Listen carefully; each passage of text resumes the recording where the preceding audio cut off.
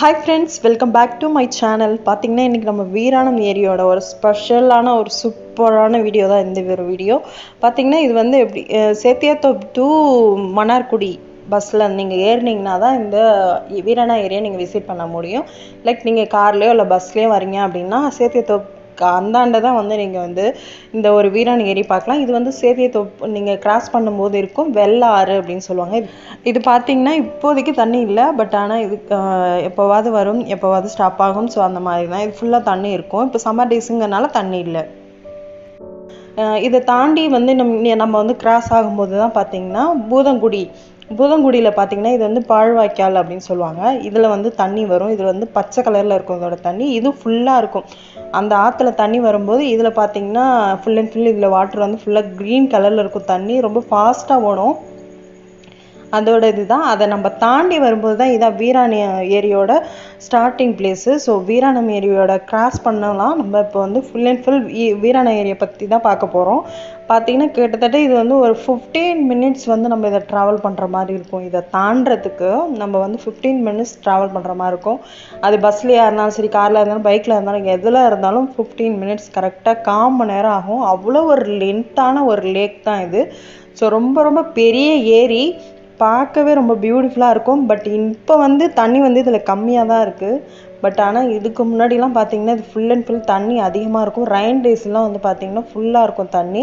இப்போ கொஞ்சம் வந்து வெயில் நாள் அப்படிங்கிறதுனால பார்த்தீங்கன்னா கொஞ்சம் கம்மியாக தான் இருக்குது இது வந்து ஸ்டார்டிங்கில் தான் இப்படி இருக்குது இன்னும் நீங்கள் கொஞ்சம் பின்னாடி போக போகலாம் பாருங்கள் ரொம்ப அதிகமாக இருக்கும் தண்ணி. இது வந்து பார்த்திங்கன்னா நான் உங்களுக்கு ரெயின் டேஸில் கண்டிப்பாக வந்து ஒன் டே வந்து கண்டிப்பாக இந்த இடத்த வந்து உங்களுக்கு விசிட் பண்ணி காட்டுறேன். ஃபுல் அண்ட் ஃபுல் வாட்டராக இருக்கும். ரொம்ப ரொம்ப பியூட்டிஃபுல்லான பிளேஸ் இந்த வீராணா ஏரி பார்த்தீங்கன்னா இதுலேருந்து தான் நம்ம சென்னைக்கு வந்து தண்ணி வந்து சப்ளை ஆகுது. ஸோ ஃபுல் அண்ட் ஃபுல் இதுலேருந்து வடிகட்டிடுறாங்க தண்ணியை. ஸோ இதுலேருந்து தான் சென்னைக்கு வந்து சப்ளை ஆகிடுது தண்ணி ஃபுல்லாக ஸோ பார்த்தீங்கன்னா கிட்டத்தட்ட இது ரொம்ப ரொம்ப லென்த்தான ஒரு ஏரி. ஸோ நீங்கள் இதை பாருங்கள் தொடர்ந்து விசிட் பண்ணி பாருங்கள் இது ரொம்ப ரொம்ப பியூட்டிஃபுல்லாக இருக்கும். நீங்கள் கண்டிப்பாக கடலூர் பக்கம் வரீங்க அப்படின்னா கண்டிப்பாக இந்த வீராணை ஏரியை வந்து விசிட் பண்ணி பாருங்கள் இது வந்து சோழர் காலத்தில் வந்து கட்டப்பட்ட ஒரு ஏரி தான் இது. ஸோ இதுக்கான ஹிஸ்ட்ரி எல்லாமே நான் உங்களுக்கு டிஸ்கிரிப்ஷனில் கொடுக்குறேன். நீங்கள் வந்து படித்து பாருங்கள் ஓகேவா பார்த்தீங்கன்னா சூப்பரான பிளேஸுங்க ரொம்ப ரொம்ப பியூட்டிஃபுல்லாக இருக்கும். நீங்கள் கொஞ்சம் எண்டில்லாம் போய் பாருங்கள் ரொம்ப நல்லாயிருக்கும் சூப்பராக இருக்கும்.